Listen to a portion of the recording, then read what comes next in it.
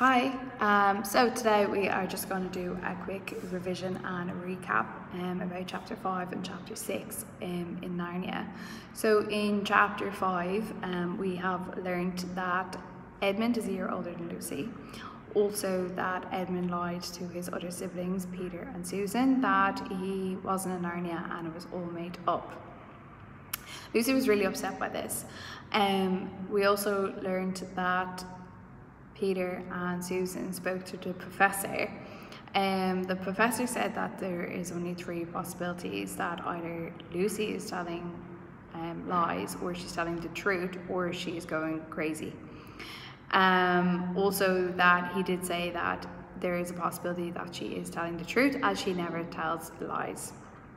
He said that he doesn't know everything about the house and that anything is possible. He also said at the end of the conversation that people should be minding their own business.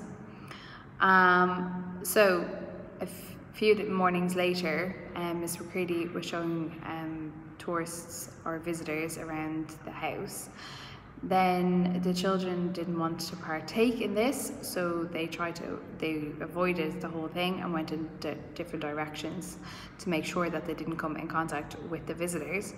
Um, so they ended up in the wardrobe um, and hidden there until the visitors passed.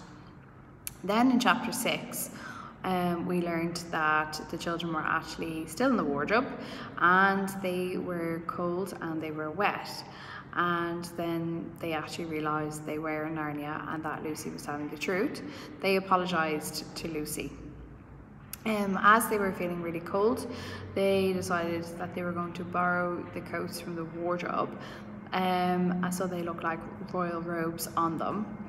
Um, then Edmund said to the children that they should go in the direction of the lamppost. Then they realised that he had been in Narnia before and he was lying.